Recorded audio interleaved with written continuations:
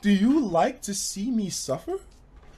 You give me all the support, love, likes, viewership, ad watches, donations, sponsorships, kind emails, and then you create something like this and you give it 29,000 views and you ask me to watch it on a stream, knowing full well what those older videos do to me.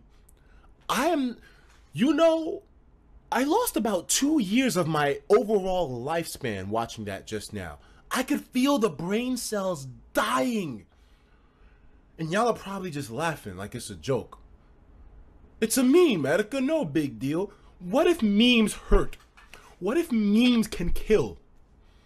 Would you throw around an internet meme as easily if you knew the damage it does to one's mental?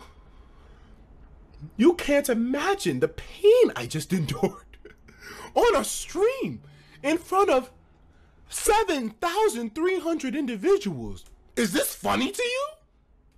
Are you having a giggle?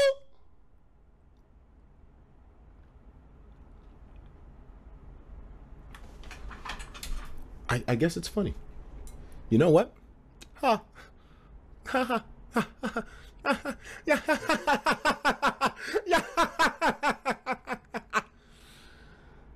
What a giggle. What a laugh.